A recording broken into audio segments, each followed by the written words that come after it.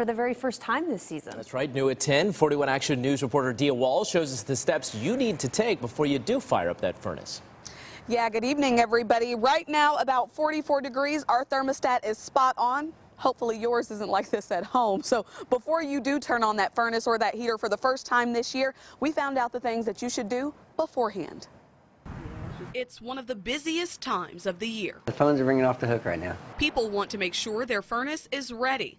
That starts with seasonal maintenance. You have to make sure your furnace filter is clean. That's why they last so long because there's a lot of surface area. Jack Lambert owns Midwest Heating, Cooling, and Plumbing. He showed us what they do on a call. If they have a humidifier, which is very important in the winter, is to make sure that filter's clean, the damper's open, and uh, you have to change this water panel right here. You see all this ductwork here? This is where the air comes from when you actually turn on your furnace. That airflow is just one of the things a certified technician will check. Check the gas pressure, make sure the pressure's right.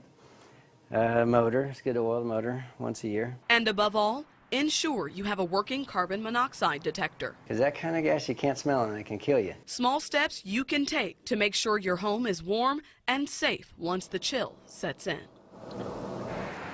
That seasonal maintenance will cost about $100 on average, and the appointment is just 45 minutes.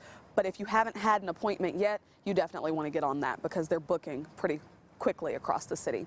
Live in KC, Dia Wall, 41 Action News.